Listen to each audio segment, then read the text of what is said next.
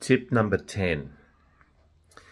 At the end of your working day, uh, tidy your desk, tidy your workspace, make some notes about what needs to be done tomorrow.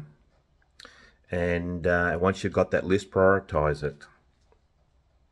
Or do or or make your list before you go to bed uh, that night. Why? Well, if you do that, you won't worry about it as much uh, at night. Um, you can say to your brain, no, hang on, we won't forget that. I already got that written down.